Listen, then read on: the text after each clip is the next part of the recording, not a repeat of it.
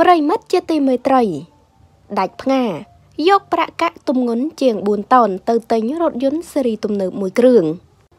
គ្រាន់តែឃើញបុគ្គលិកវិលមុខបានរឿងរ៉ាវដ៏ហួសចិនដោយនារីម្នាក់បានយកលុយដែលខ្លួនសន្សំជាង4តោនទៅទិញរថយន្តស៊េរីថ្មីមួយគ្រឿងផ្អើលពេញបណ្ដាញសង្គមជាក់ស្ដែងបើយោងតាមប្រភពព័ត៌មានបានឲ្យដឹងថា នារីរូបនោះបានដឹកកាក់1ឡានគិតជាកាក់គឺចំនួន680,000កាក់ដើម្បីទិញរថយន្តស៊េរីទំនើបថ្មីមួយគ្រឿងជាមួយគ្នានេះដែរក្រុមហ៊ុនដែលលក់រថយន្តនោះត្រូវចំណាយពេលជាង1ម៉ោង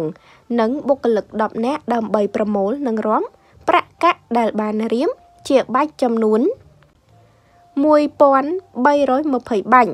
ម្ដងមួយម្ដងមួយឲ្យអស់2ឡាន ហើយរឿងរ៉ាវដ៏ចម្លែកប្លែកមិនធ្លាប់មានអតិថិជនពីមុនមកធ្វើបែបនេះ ស្រាប់តែបុគ្គលិកលន់មកថាបើមានតែភ្ញៀវបែបបែបនេះច្រើនប្រកាសជាខ្យល់កោមិនខាន ចានេះគឺជារឿងរ៉ាវមួយដែលចម្លែកមែនទែនជាធម្មតា ប្រទេសចិន គឺគេមានលុយជាកាក់ហើយនឹងលុយជាក្រដាសហើយនារីរូបនោះ គាត់មិនបានយកលុយជាក្រដាសឬក៏ប្រើលុយក្នុងកុងនោះឡើយគឺយកលុយប្រភេទជាកាក់យកទៅទិញរថយន្តស៊េរីទំនើបដែលមានរហូតទៅដល់680000កាក់ឯណោះជារឿងធម្មតានោះទេបុគ្គលិកណាគ្រាន់តែឃើញក៏វិលមុខដែរមិនងាយរាប់នោះទេ ម្ដងមួយម្ដងមួយតលតែអស់ រឿងរ៉ាវនេះពិតជាចម្លែកខុសគេទៅធ្វើឲ្យល្បីខ្លាំងពេញបណ្ដាញសារព័ត៌មានប្រទេសចិន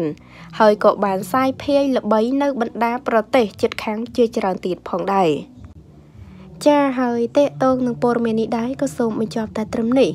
សូមចុច Subscribe និងរូបកណ្ដឹងដើម្បីទទួលបានព័ត៌មានថ្មីៗប្លែកៗជាបន្តទៀត